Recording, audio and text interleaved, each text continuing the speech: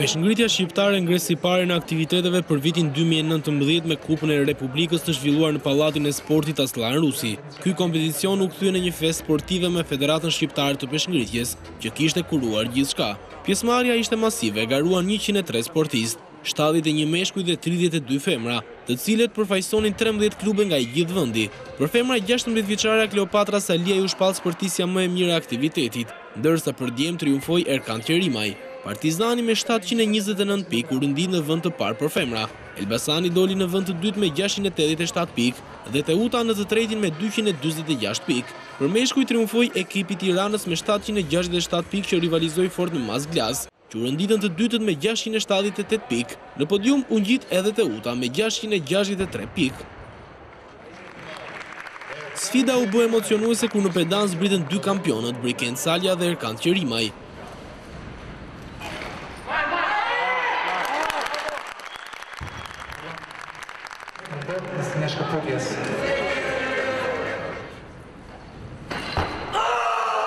Calja arriti të vendosë rekord kombëtar në peshën tetëdhjetë e një kilogramë në stilin e shkëputjes, duke ngritur me sukses njëqind e shtatëdhjetë e shtatë kilogramë, dy më shumë se Qerimaj. Presidenti i Federatës Shqiptare të Peshëngritjes, Theodhor Maslavica, u shfaq i kënaqur me paraqitjen e sportistëve. Ky është një test që bëhet paraprakisht që të dy sportistët janë garues shumë të mirë. Këtë rezultat që dha Briken Calja, ne jemi medaljen që sjellim në Shqipëri. Dopingu është një fenomen që e ka shoqëruar gjatë shtangën shqiptare, por kryesia e re i ka shpallur luftë. Ne si federatë, bashkë me kryesinë, bashkë me të gjithë që punojnë për federatën, kemi vendosur që në çdo aktivitet ndërkombëtar do ketë dy teste antidopingu.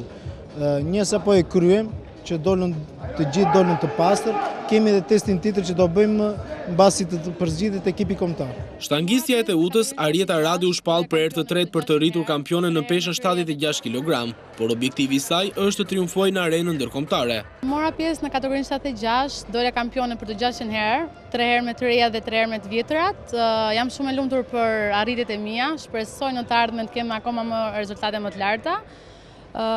Perspektiva është për Europianin U20 që është në Moldavi dhe shpresoj që të jap ato rezultatet e mia, të paktën të nxjerr stërvitjen time. Trajneri i Shtërmenit Leonard Toska vlerësoi ekipin e tij edhe pse nuk arriti të ngjitej në podium, ndërsa deklaroi se peshëngritja është në rrugën e duhur për t'u kthyer sërish në majë. Ekipi i Shtërmenit ka ardhur me ekip të plotë, pavarësisht se edhe ka një disë Këtyre sportistëve ka dhe të rinj, por që janë me perspektivë. Jemi përgatitur gjatë për këtë garë, me ardhjen e presidentit të ri të Federatës Shqiptare të Peshëngritjes, peshëngritja po ec me ritme të shkëlqyera. Numri i sportistëve është rritur, gjithashtu dhe i femrave, për t'u habitur sot për herë parë Janë kjo garë tregoi nivel të lartë edhe të femrave. 35 femra, 115 meshkuj. Kjo tregon që ka një seriozitet edhe nga presidenti i Federatës Shqiptare, edhe nga kryesia, por edhe nga këshilli i trajnerëve.